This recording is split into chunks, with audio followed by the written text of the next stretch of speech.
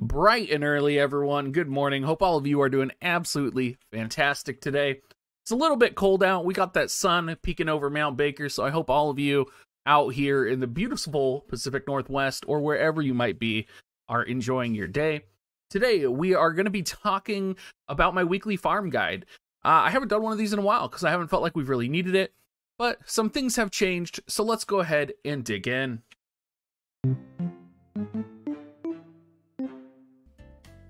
We're going to specifically talk about some Final Fantasy X reminders in this guide. We're also going to be talking about some other things that you should be keeping in mind. As I said, I haven't done a farm guide in a couple weeks now because I felt it hasn't really been necessary. But with the onset of tokens and with the onset or upcoming of Final Fantasy X and Memory Spheres, I think it's important that everybody keeps in mind and plans accordingly because if you aren't planning this week, next week, you're going to be a little bit overrun when Final Fantasy X comes out. Now, the charts that I did make uh, don't have room for my webcam on them, so y'all are to miss my beautiful face today. But let's go ahead and dive in here and talk about it. Uh, specifically, first off, we do have the Exvius Universe medals, most people probably know or have heard by now that you should be banking about 130,000 for Mind Sphere conversion. So, what is a Mind Sphere? A Mind Sphere is when you get a shard over 600 for your units and they convert to a Mind Sphere uh, when EX units come out. So, what people have noted is the Exvius Universe event is going to go on beyond the start time for Final Fantasy X slash EX units. And we do have a confirmed start date for Final Fantasy X and EX units, or at least EX units, because we do have a Mind Sphere times 80 ticket that is available on the 23rd, I believe it is. So we do know that you are going to be able to buy all of the Brave Exvius units and convert all those shards to Mind Spheres. So keep that in mind. Make sure you're farming this event. One of the other questions we're going to ask also is Is the piece of equipment worth it? And that's on another slide, but I definitely think it's important to note here. A lot of people I've talked to have been talking about farming up Alexandrite rings for this raid. Some important notes here, particularly around Joyful Hearts. If you're wanting to max out Joyful Hearts and you're starting from zero, you are going to need 799,000 raids or 799,000 raid coins, which is 799 raids. With five days left, that's about 200 raids per day. It's doable, but it's a little bit difficult. I would say maybe shoot for half that, try and get maybe a plus four Alexandrite ring. Defense Bracer is another conversation entirely on whether or not I think you should plus five it. I would say most people probably going to plus five it, but I I'm pretty debatable on whether or not it's going to be worth it. Uh, agitators. So the agitator is going to be going away at the end of this week, but we are going to be able to have medal conversions for the rest of next week. Make sure that you have like at least one to three k currency extra, so that you are able to buy the gil snappers and the VC uh, potions to upgrade your VCs. Uh, Friday, uh, that is today, for those of you that aren't keeping track. Uh, Light Alcryst are on double drop. Make sure you're loading up on this for Yuna. It's going to be very important. Similarly, Wednesday, make sure you load up on job materials for Tidus as well. Keep in mind that we do have a really big maintenance, not next Wednesday, but the Wednesday after, in preparation for uh, the uh, EX units and potentially Final Fantasy X. So keep that in mind that this is going to be the first like real Wednesday before we kind of get ready and dive into anniversary. So it would be a good week to farm for it because who knows what we're going to be farming next week.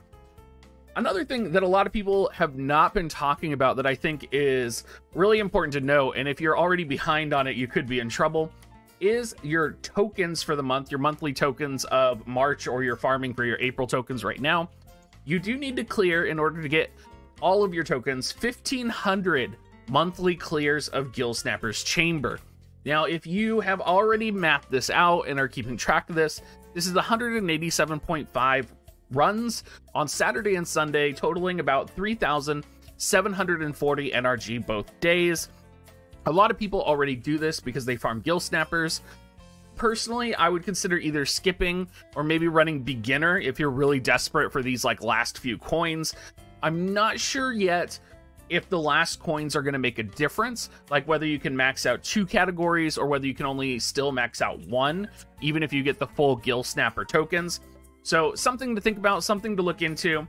Another thing to consider is that we do also have EX units coming out, which are going to take Guild level. We're also going to be having at least two or three more VCs. We're going to have Bahamut. We're going to have both Final Fantasy X VCs. We're also going to be getting potentially the art book VC as well. So there's going to be a lot of Gil going out here in the near future. Let's talk about the Emblem of Devouring because a lot of people are looking at this and wondering, is this a piece of gear I should max? This is a really good question. I honestly am on the fence about it because Blissful Hearts are such an important item for so many other recipes and so many other useful items that I'm kind of like, maybe I just want to hoard the Blissful Hearts and not use an Emblem of Devouring. Maybe I don't want to plus five it, right? Because when you plus five it, the only thing you get at plus five is accuracy plus 10.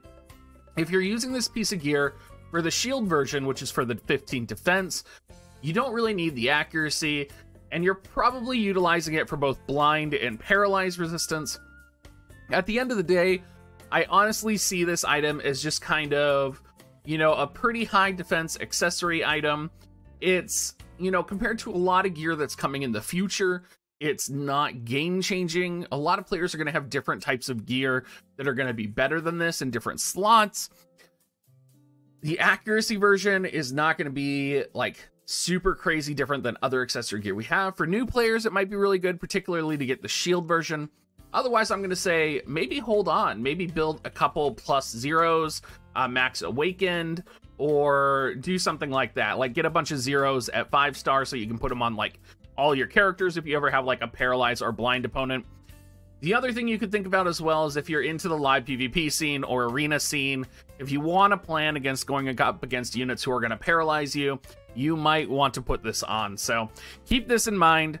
I would say at least farm the 63 recipes because you never know, especially on the horizon with so much Exvius Universe content, whether or not a new global exclusive unit's going to come out in like the next couple weeks or global original unit, sorry, where maybe that unit's to like both blind and paralyze you and then you'll be like like shit, like shooting yourself in the foot because you didn't farm the recipes for this. So, you should be farming for the tokens anyway, for the Mind Spheres, for the Brave Exvius units, and you'll probably get 63. The recipe drop rate is pretty low, but definitely keep this in mind. Some other things to look at here. Uh, mainly, it's going to be the NRG pots from the raids, but also I really want to emphasize Awakening Prisms and fragments because with the upcoming Yuna, with the upcoming Tidus, with the upcoming Auron, I don't think people realize how many fragments and awakening prisms it's going to take to level a unit fully to level 120. You're going to need 460 light fragments. You're also going to need 490 awakening prisms. So if you're looking at your stockpile of fragments and prisms right now and you're like, okay, I'm fine, right? you, you're gonna be you're gonna be burning through those things so fast. If you consider that on average they were, were releasing like three EXs every week or every other week, that's at least 360 fragments and prisms that you're gonna be burning through in the coming months, right? So if you're able to get any now, I would highly recommend getting them. One of the other things that changed is they did change the cost of the prisms and the fragments in the friend token exchange shop and the guild token exchange shop. So if you do have extra of those, which I mean, I know they're a hot commodity, uh, you can actually purchase them for 20 friend tokens and 20 guild tokens. I actually think it's a really good deal, uh, but I also know that potentially we're going to be getting other things coming out with friend tokens and guild tokens as well when they do launch the EX units. So there is also that to keep in mind. All right, everybody. We kind of plowed our way through it. I hope you guys are all looking forward to finishing up the raid this week. I know that I have been running it nonstop and have been enjoying it quite a bit. Uh, I've been trying to learn how to macro my raids and make it just a little bit easier on me so that I can play games like Loop Hero in between. And uh, that's pretty much all I've been playing.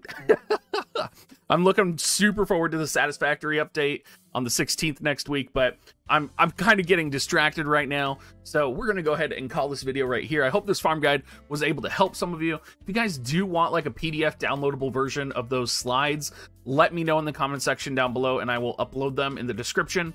Uh, we will probably be streaming tonight. Hope to see some of you guys there. As always, if you do want to support me, you could use my affiliate link dig.gs slash coins, or you can come to dig.gs slash offer as well. and have a great rest of your day, everybody.